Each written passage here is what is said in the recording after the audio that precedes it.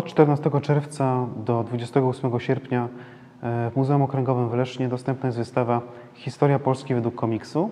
Wystawa jest częścią cyklu Cztery pory roku z satyrą i komiksem, której autorem jest e, Wojciech Łowicki, znany polski kolekcjoner i znawca e, komiksów.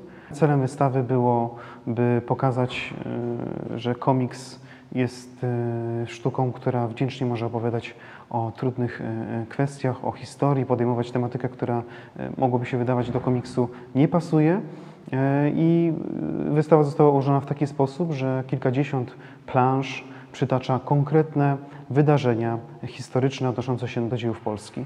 E, Oczywiście wsparta jest e, najcenniejszymi, najbardziej znanymi e, przykładami komiksów polskich, e, najbardziej znanych nazwisk, w tym m.in. właśnie Papcio Chmiel, e, autor Tytusa Romka i Atomka, ale też wielu, e, wielu innych e, twórców. Komiks jest sztuką, która rozwinęła się na przełomie XIX i XX wieku. Na samym początku nie cieszyła się ona uznaniem krytyków, e, wręcz można powiedzieć, że e, stała ona na takim marginesie sztuki. Mm, Można powiedzieć, że wręcz nie uznawano ją za sztukę, dlatego że była ona dedykowana tym osobom, które nie potrafiły czytać, pisać. Była czymś, miała być czymś, co, co odnosi się do bardzo przyziemnych, wręcz prymitywnych instynktów. Opierała się na obrazku połączonym z tekstem, czyli e, przede wszystkim e, miała działać w taki sposób, by, by ułatwiać przekaz.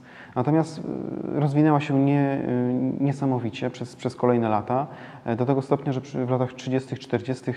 e, zas- doczekała się swojej autonomicznej formy, w takiej formie zeszytowej, serialowej, e, do kupienia w kiosku. E, Wcześniej e, była tylko fragmentem e, w tygodniku, w danej gazecie. Wystawa, która e, ma miejsce u nas w muzeum, e, to jest właśnie przykład tego, że komiks e, rozwinął się do tego stopnia w latach 70., 80. już, że zaczął podejmować się tematów historycznych.